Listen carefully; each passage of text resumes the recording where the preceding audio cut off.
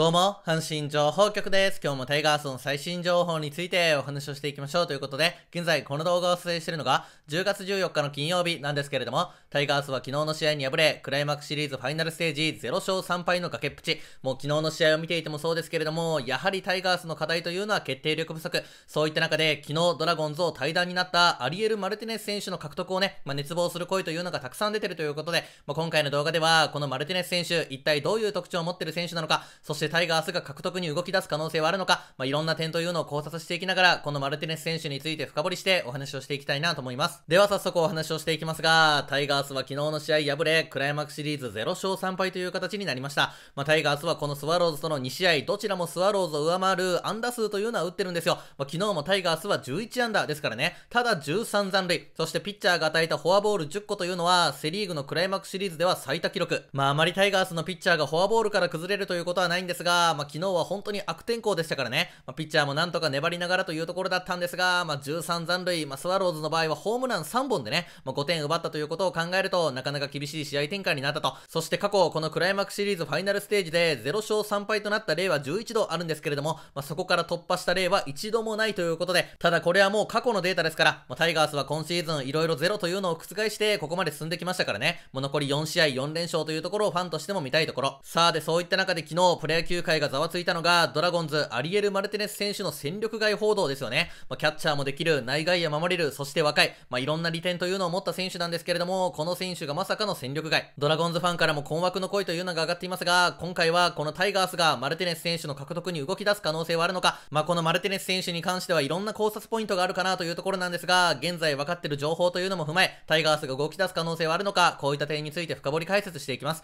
よかったらぜひとも皆さんのご意見というのもお聞かせください。ではまずこのマルティネス選手の日本での流れであったり、特徴、こういったところを見ていきたいなと思うんですが、まずこのマルティネス選手がドラゴンズにやってきたのは、2018年の3月、シーズンが始まる前ですね。まあ、ドラゴンズと推定年俸1000万円で育成契約を結んだと。で、このマルティネス選手で何が一番大きく報じられたかというと、外国人キャッチャーというところですよね。まあ、なかなか日本でね、外国人選手がキャッチャーを守るということはほとんどないんですけれども、マルティネス選手が日本にやってきた時というのは年齢まだまだ若かったですし、今後磨いていけばね、まあ、一軍でマスクを被る日もあるんじゃないか、まあ、ドラゴンズファンはもちろん、プロ野球ファンとしてもかなり注目度が高くなった助っ人選手だったと。そしてそこから2軍で実戦積んでいって、2020年ですね、まあ、怪我等もありながら、7月の1日に支配下登録されて、その年に1軍登録もされました。で、マルティネス選手にとって1軍デビューとしてなった2020年、バッティングでまずはしっかり結果を出していきます。というのも39試合に出場して、打率が2割9分5厘、ホームラン2本13打点、出塁率が3割8分5厘、OPS が806という数字。そしてバッティングだけではなく、キャッチャーとしての出場というのもあったんですよね。まあ、当時、このマルティネス選手のキャッチャーでの動きというのを見ていましたが、まあ、取ってからの速さというのはね、まあ、まだまだ改善の余地はあるかなと思いましたけれども、肩がとにかく強いですよ。まあ、本当に腕をブンとね、強く振り下ろすというよりも、スナップがよく効いてるなと。まあ、ですので、腕の振りの割にはと言いますか、ボールがかなり強く伸びていたんですよね。で、そこからのキャッチャーの動きというのを見ていましたけれども、まあ、大きく守備が破綻するようなこともなかったですし、190センチ95キロ、かなり大柄な選手でありますけれども、キャッチャーとしても十分ね、まあ、しっかり動いていけるような力はあるなという風に感じていました。そしてそこから1軍で数多く試合に出始めるわけなんですが、今シーズンの数字ですね。今シーズンは82試合に出場して、254打数70安打、打率が2割7分6厘、ホームラン8本24打点、出塁率が3割5分、OPS が787という数字を残したと。そして本職のキャッチャー以外にも、ファーストであったり外野、まあ、より自分の試合出場というのを確保していくために、こういう練習にも取り組んでいったと。で、タイガース視点でこのマルテネス選手を見ていくと、一つやられた試合というのがありましたよね。まあ、それというのもバンテリンドームですよ。マウンド上には岩佐投手、そこまで岩佐投手は今シーズンホームラン1本も打たれていなかったんですが、その岩佐投手の力強い高めのストレートをマルティネス選手は完璧に持っていきました。もうとにかく今シーズンの岩佐投手に関しては、長打というのをほとんど打たれていません。そしてホームランという観点で見ていくと、実はこのマルティネス選手の1本だけなんですよね。まあですので、もしあそこでマルティネス選手に打たれていなかったらということをね、タイガースファンとすれば考えるわけなんですが、まあ逆に言うと岩佐投手のあの高めのストレートを完璧に持っていった、しかもバンテリンドームですからね、まあ、マルティネス選手、さすがのパワー持ってるなという見方もできるわけですよ。ただそんなマルティネス選手をめぐって、昨日プロ野球界大きくざわつきましたよね。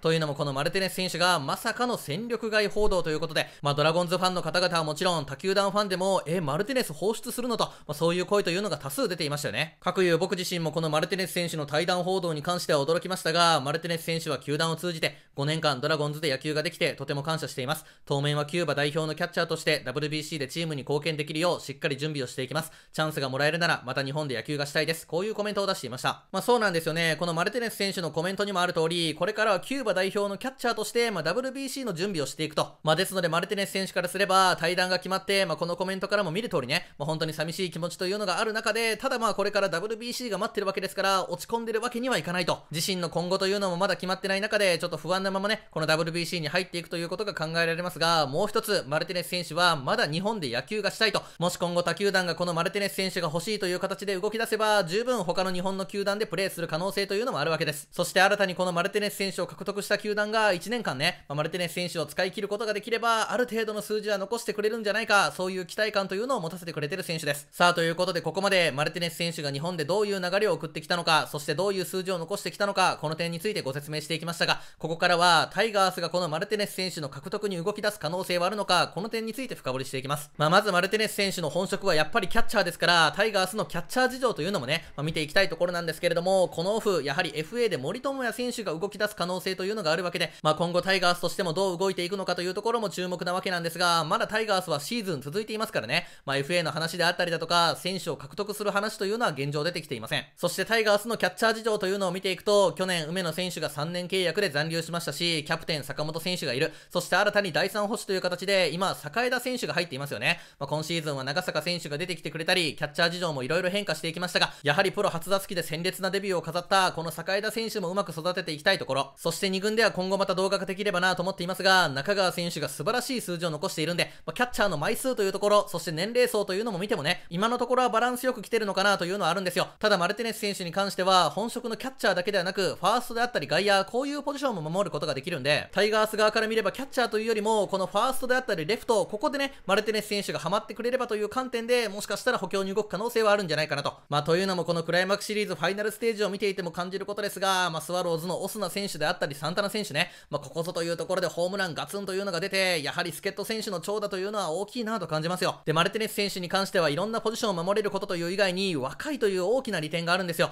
というのをマルティネス選手は現在26歳、まあ、タイガースの日本人選手で見ていくと、中野選手であったり伊藤投手、まあ、この世代に入るわけですよ。まあ、早い段階で日本に来ていたというのが大きいわけなんですが、これだけ若くて、で、なおかつ日本での数字が残ってるということになれば、まあ、タイガースだけではなく、他球団も動き出す可能性というのは十分にあるんじゃないかなという推測ができます。ただですね、このマルティネス選手に関しては、色々と考えていかなければいけないところがあって、まあ、というのもドラゴンズを対談になった理由ですよね。まあ、これに関しては球団からね、直接的な理由というのは出てこない可能性というのが高いですが、例えばもしマルティネス選手自身がキャッチャーで勝負したいという考えを持ってのドラゴンズ対談であれば、これはタイガースも含めて日本の他球団に関しても色々と考えなければいけないところというのがありますよね。まあ、マルティネス選手の守備を見ていても、例えばね、まあ、通訳なしでピッチャーに話しに行けたりだとか、コミュニケーション能力が高いということはわかるんですけれども、まあ、なかなか前例がないわけですから、もしマルテネス選手がキャッチャーで勝負したいという思いを強く持っているのであれば、うちならキャッチャーで勝負させてあげるからおいでよと、まあ、そういうこともなかなか簡単には言いづらいという背景もあると。そしてマルテネス選手で一つネックなのは、怪我が結構多い選手だということですよね。まあ、入団当初から膝を痛めてしまったりだとか、脇腹を痛めたり、まあ、いろんな怪我というのを経験してきた。そしてマルテネス選手に関しては何と言ってもキューバ出身の選手、まあ、本人の希望というところも含め、政府の方針というのも絡んでくる可能性があるんで、ドラゴンズとは年俸の面で揉めてしまったとか、そういう可能性というのもありますよね。マルティネス選手は今シーズンの年俸3000万円で、その中でね、82試合に出てホームラン8本打ってるわけですから、まあ、ある程度の上積みというのも考えられる中で、もしそこで揉めてしまったのであればね、まあ、獲得に動き出す球団もある程度のお金は出さなければいけないということで、まあ、いろんな背景というのはあるかなと。ただ最後になりますが、タイガースは過去、ドラゴンズを戦力外になったキューバの選手、ガルシア投手を獲得した過去というのもありますんで、キューバ出身の選手でこれからの契約どうかなというね、まあ、そういう不安点というのはありつつも、過去タイガースはそういう選手の契約をまとめた実績というのもありますから、もうあとはマルルティネス選手自身がどういう思いを持ってるのか、まあ、本人が強くキャッチャーで勝負したいということであれば、まあ、ある程度ね、移籍できる球団も限られてくるかなというところで、まあ、本人の SNS のコメントを見ていても、キャッチャーへの思いは強いのかなという気もするんで、今後それぞれの球団がどう動いていくのかというのは注目ですよね。ただタイガース視点で見ていくと、キャッチャーというポジションはもちろん、まあ、特に外野、レフトですかね。ここでマルテネス選手を獲得するということができれば、まだまだ若い、そして実際湯浅投手からガツンとホームラン打ってるというのをね、間近で見てるわけですから、右の長距離砲を求めてるタイガースにとって、あのマルテネス選手のパワーというのは大きな利点になるんじゃないかなということで、